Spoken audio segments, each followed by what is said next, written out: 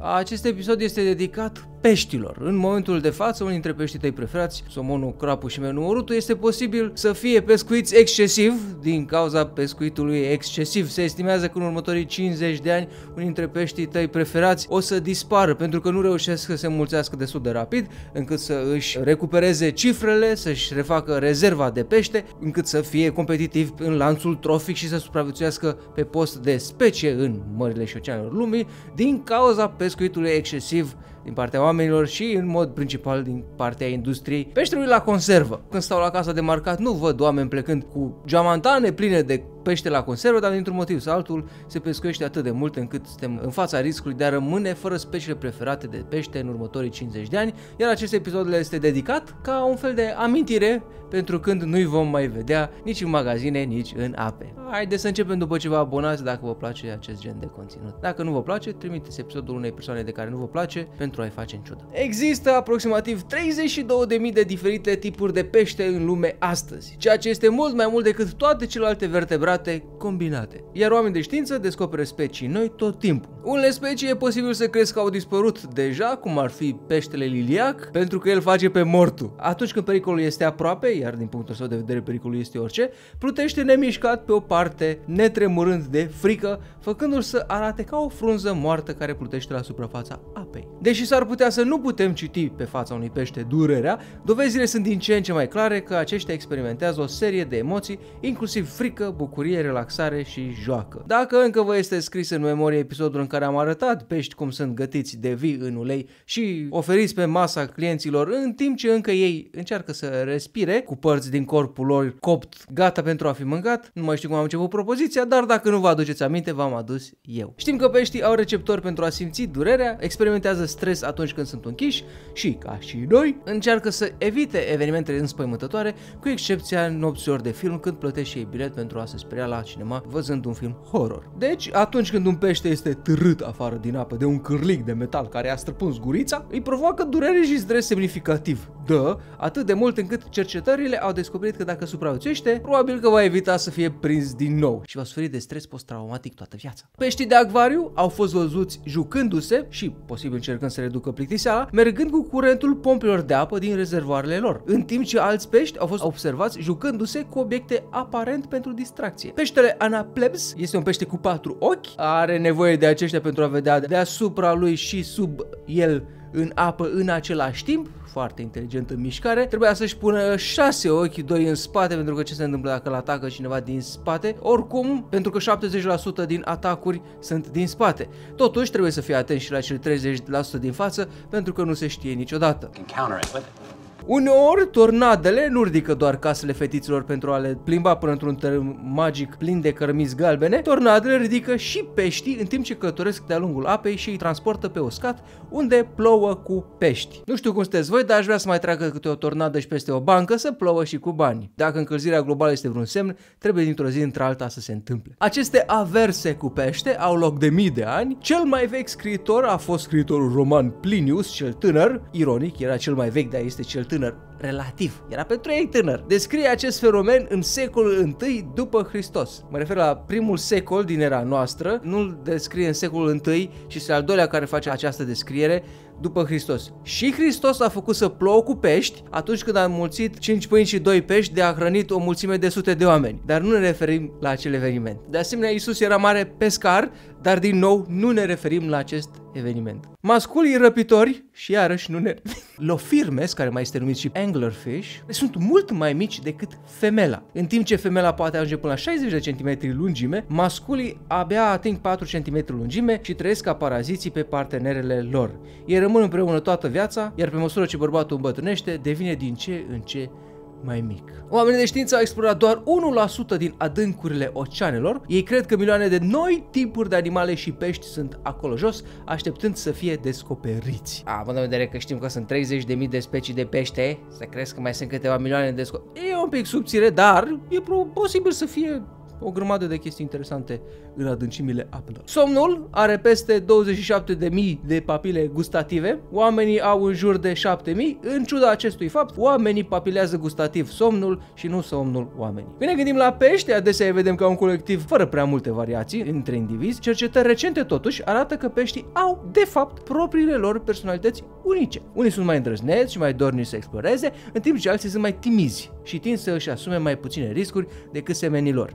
Aceștia sunt cei care nu se reproduc de obicei. La fel ca noi, trăsăturile de personalitate dintre pești variază în funcție de genele pe care le moștenesc de la părinți și de propria lor experiență de viață. Ce prieteni și-au făcut în facultate, dacă și-au depus CV unde trebuie sau în prietenii cu profesorul potrivit, lucruri de genul. Oamenii au fost uimiți de secole că somonii, după ce au traversat oceanul, pot găsi râul unde s-au născut. În râul Yukon din Alaska și în Canada, anumiți somon Chinook marcați au parcurs aproape 3218 km în 60 de zile. Îți dai seama cât de mult timp liber trebuie să ai să calculezi 3218 km, să nu zici bă, peste 3000, 3200, na na na na na. Sunt curios dacă au numărat metri. De asemenea, somonii s-au adaptat să trăiască într-o varietate de medii acvatice, inclusiv râuri, lacuri, estuare, recifurile de coralei, recife de corali și mare deschisă. Peștii au fost primele vertebrate cu schelete osoase care au apărut pe pământul, spre deosebire de peștii de astăzi, peștii din purii nu aveau solzi. Veneau pregătiți, nu aveau aripioare sau mandibule, dar aveau o înotătoare dorsală. Ne bucurăm că nu mai există. Mixinele sunt animale marine în formă de țipar care produc din abundență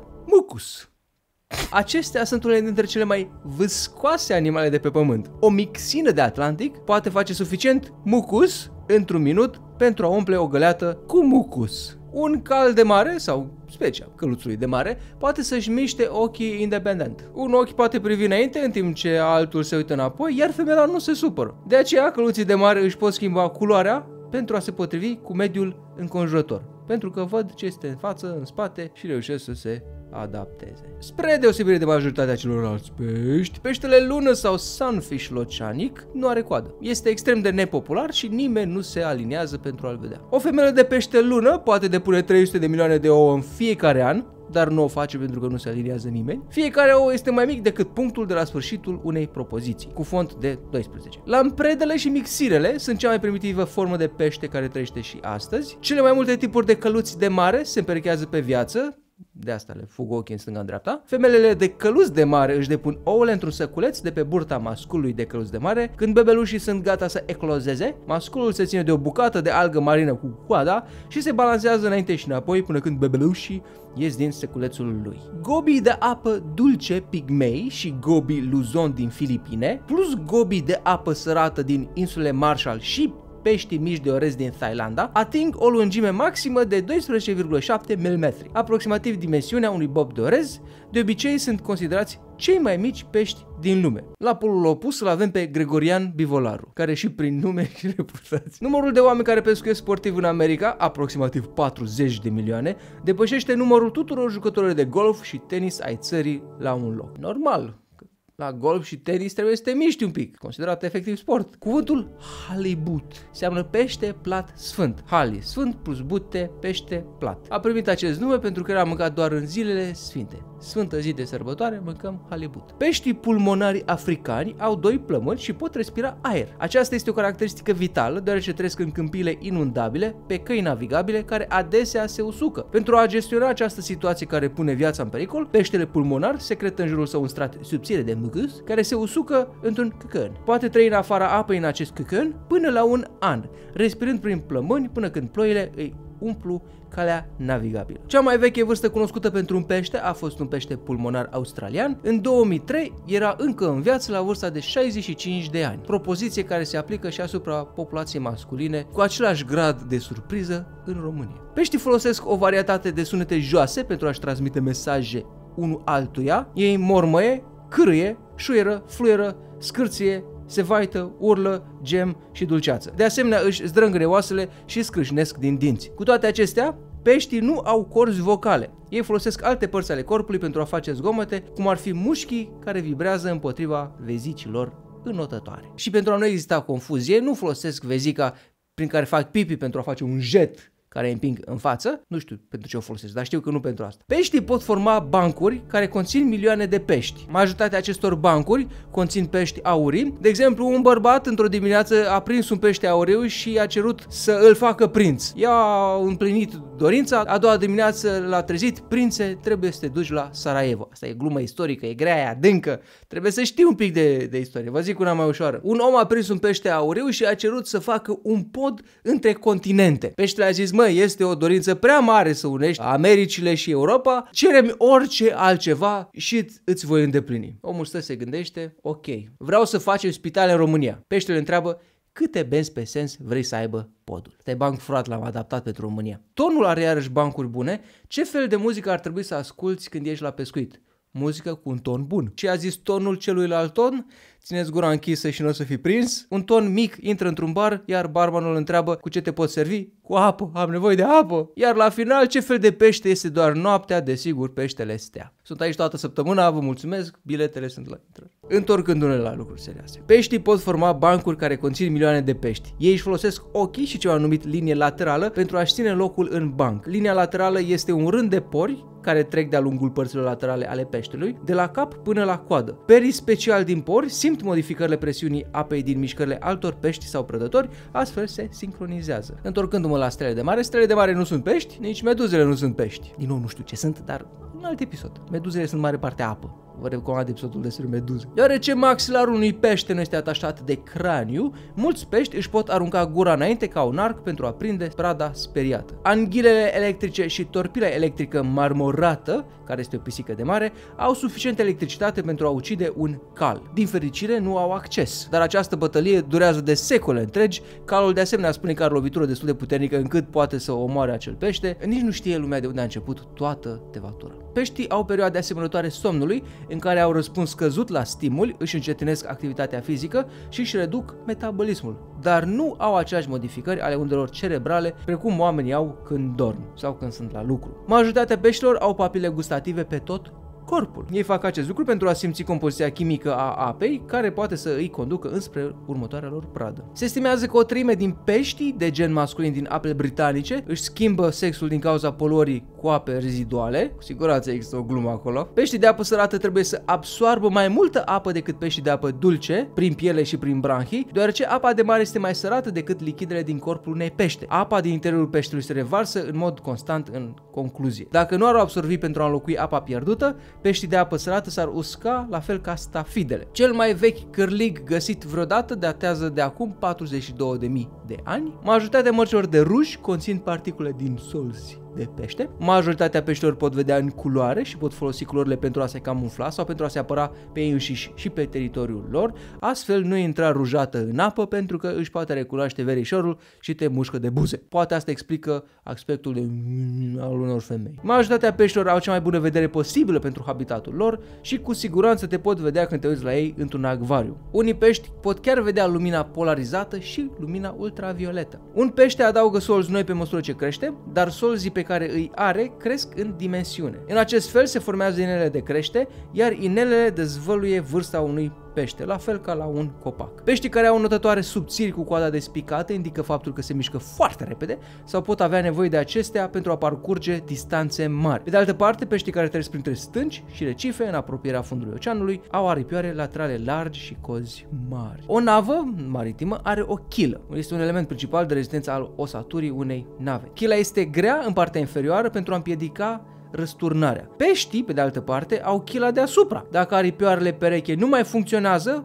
pentru a menține peștele echilibrat, acesta se întoarce, deoarece partea sa cea mai grea tinde să se scufunde, ceea ce se întâmplă atunci când moare, de asta peștele este introdată cu burta în sus. În medie, peștii zburători, da, există și aceste caracatițe ale planetei, pot zbura până la 50 de metri în aer, pot efectiv zbura. De planat pot zbura până la 200 de metri în aer. Acum înțeleg de ce Gili, tovarășul meu din Constanța, mi-a zis dacă stau la mare să stau la cel puțin 200 de metri distanță de plajă. Riscul este chiar să zboare deasupra capului pentru că pot atinge altitudini de 6 metri metri. Nebuni pește ăștia. Un pește balon când este umflat poate atinge un diametru de până la 90 de centimetri, se umflă înghițind apă și apoi depozitând-o în stomac. Acesta crește în dimensiune pe măsură ce primește mai multă apă. Dacă este scos din apă, se poate umfla în mod similar prin înghițirea aerului. Un pește se poate neca în apă, la fel ca oamenii. Acum chiar că am fost răutăcios, și peștii sunt oameni, nu trebuie să ne uităm atât de rău la ei. Peștii au nevoie de oxigen, așa că dacă nu este suficient oxigen în apă, se vor sufoca. Acum înțeleg filmele în care peștii sunt băgați adesea cu capul în apă. Deși peștele undițar are doar câțiva centimetri lungime, are dinți de mărimea dinților de om. Peștii din mijlocul unui banc controlează bancul, peștii din exterior sunt ghidați de cei din mijloc și doar peștii osoși pot înota în grupuri foarte ordonate. Majoritatea peștilor nu pot înota înapoi, iar cei care pot sunt în principal membri ai unei dintre familiile de anghilă. Peștii s-ar sufoca dacă ar încerca să mestece, deoarece mestecatul ar interveni cu trecerea apei peste branhii. Cel mai otrăvitor pește din lume este peștele de piatră. Înțepătura sa poate provoca șoc, paralizie și chiar moarte dacă nu este tratată în câteva ore. Cuvântul piranha provine din limba tupiană, vorbită de tupi autohtoni din Brazilia și se scrie pirania, însemnând forfece. Și asta a fost tot despre pești și peștișori. Vă aștept și în episodul următor în care voi vorbi despre pești și peștișori. Vă aștept glumele în secțiunea de comentarii. Le mulțumesc patronilor, membrilor pe canal și care YouTube Premium și celor care nu mai respiră odată ce intră în apă dacă nu au văzut reclamă. Eu sunt Alex Cosma și atenție,